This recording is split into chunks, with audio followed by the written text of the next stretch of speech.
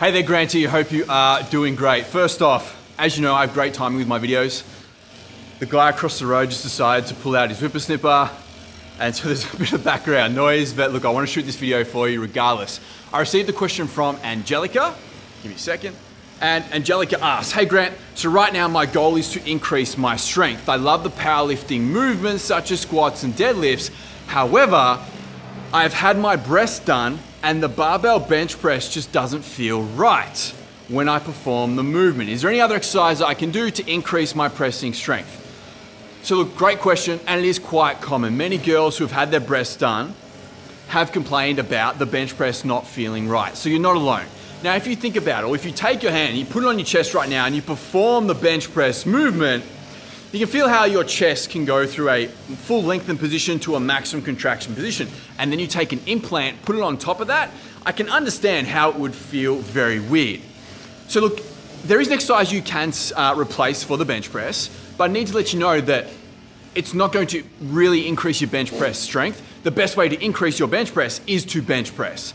With that being said, there is an exercise you can do, and that is the barbell military press. So if you take your hand once again, place it on your chest and you perform the barbell military press movement, you can feel how there's nowhere near of a contraction of what you get with the bench press. There's a little bit of contraction up near the collarbone with the chest, but it's again nowhere near what you get with the bench press. So I truly believe that this will be a far better movement for you can do. In fact, I have had some clients, some girls who've had their breast done, and with this very issue, that's what we did, and there was no problem. So there was only one case where the girl still just didn't feel right.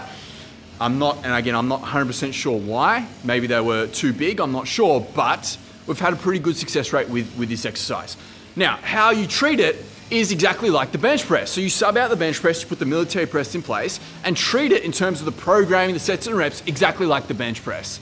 In fact, back in the day, we're talking 50, 60 years ago, before the bench press was the staple pressing movement, the military press was actually the number one go-to exercise simply because bench presses weren't, or benches weren't invented.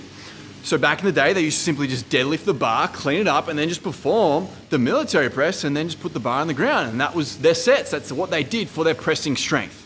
So don't feel like you're, uh, you're not going to achieve uh, the greatest results with the barbell military press because like I said, back in the day, it was the go-to exercise before the benches were invented.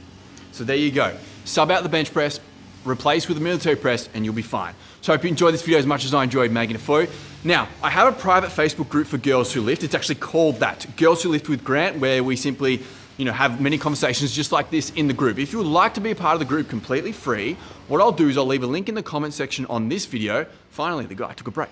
Um, I'll leave a link in the comment section on this video, and if you can't find it, just shoot me a private message with the words Facebook group, and I'll shoot you a link so you can join the group. Apart from that, thank you for watching, and I'll talk to you soon.